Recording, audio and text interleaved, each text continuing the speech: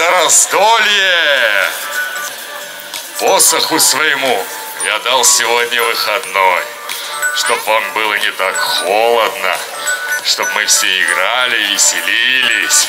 В парке Раздолье в преддверии новогодних праздников можно буквально очутиться в сказке, где Дед Мороз и Снегурочка на волшебной повозке привозят ребятам и их родителям подарки, улыбки и радость. Хороводы, игры, квесты и костюмированные представления устраивают в парке актеры театра Натальи Бондаревой. В юбилейный год театра они делают подарки любимым одинцовцам.